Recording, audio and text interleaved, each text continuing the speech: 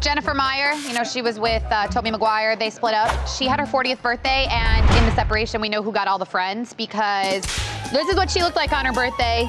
She had Jennifer Aniston and Justin Theroux, Katy Perry, Orlando Bloom. Not together. They were arrived separately, left separately. Cash and Jessica Alba went together.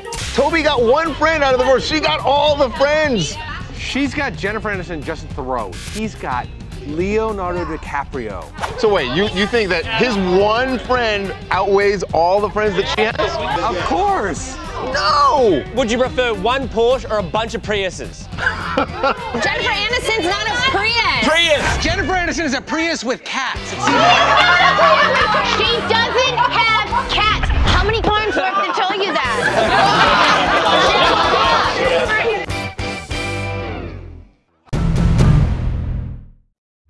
We're TMZ. If you like our vibe, click on that button and hit subscribe. We'll send you more.